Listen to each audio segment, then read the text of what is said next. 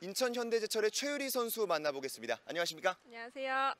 네, 반갑습니다. 먼저 동아시안컵부터 선수권까지 정말 쉴 틈이 없었습니다. 그렇기 때문에 오늘의 몸 컨디션은 좀 어떠신지 궁금하네요.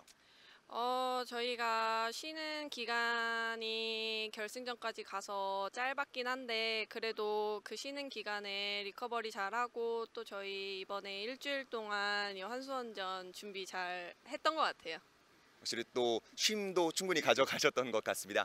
그럼 다음으로 이번 시즌 개인 기록이 정말 대단합니다. 7개의 득점을 넣으면서 팀 내 최다 득점 그리고 리그에서도 득점 상위권에 계신데 골을 잘 넣는 비결 혹시 있으, 있으십니까?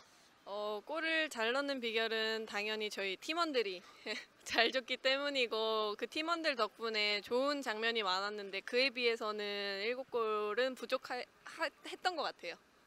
오히려 굉장히 겸손한 또 팀원들이 이렇게 지켜 올려주는 답변을 또 해주셨습니다. 다음으로 오늘 또 현장 중계로 이루어지는데 이나라 해설위원이 오셨어요. 그래서 하나 질문 드립니다.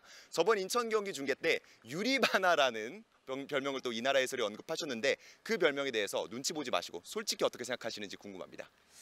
어, 근데 저는 좀 이걸 들은 지가 오래돼서 익숙하기도 하고요. 그리고 또 용병의 이름을 따서 지어진 이름이기 때문에 저는 그래도 기분 좋게 용병의 힘으로 뛰고 있습니다.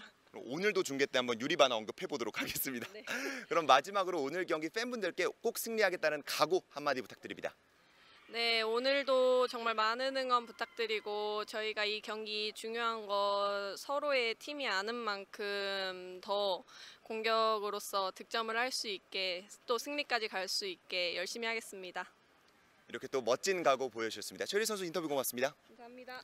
이상으로 인천 현대제철의 최유리 선수 만나봤습니다.